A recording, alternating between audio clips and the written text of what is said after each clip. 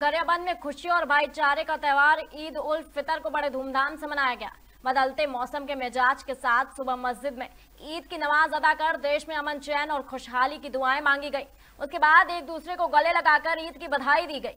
वहीं अन्य समाज के लोगों ने भी सेवैया व आइसक्रीम खिलाकर मुस्लिम भाइयों को ईद की बधाई दी। वहीं बच्चों में भी ईद को लेकर काफ़ी उत्साह देखा गया। गरियाबंद से फारूक मेमन की रिपोर्ट।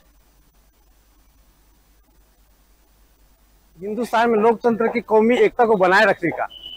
हम चाहते हैं कि पूरे भारत में हिंदू, मुस्लिम, सिख, ईसाई सब एक साथ मिलकर के रहे, आपस में सबका प्रेम व्यवहार बना रहे।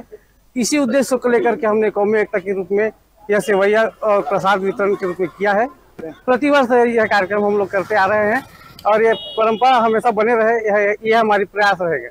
आज मस्जिद में नमाज़ पढ़कर देश के अमन चैन शांति और विकास के लिए दुआ मांगे, सबका भाईचारा बने रहे और महार समाज और नगर पालिका के द्वारा आइसक्रीम खिलाकर, शरबत पिलाकर, खीर खिलाकर यहाँ पर एकता का परिचय दिए।